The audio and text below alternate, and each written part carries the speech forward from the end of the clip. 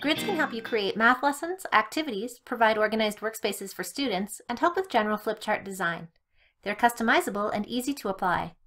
There are a number of grids available in the shared resources that come with ActivInspire software. To access these, go to your resource browser, second in your browsers. If your browsers are not visible, go to View, then Browsers. Select Shared Resources. You will see a Grids folder with a number of subfolders. Once you find a grid you like, just drag it onto your flipchart page to apply it. Note that when you apply a grid to a page, you can still change the background color and image, as well as add and manipulate objects.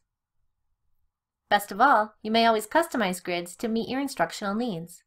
Access the Grid Designer at any time by right-clicking on any blank area of your flipchart page and select Grid Designer. You can also go to Edit and click Grid. You can modify your grid scale, color, and more. Grid settings will change in real time so you can preview them instantly.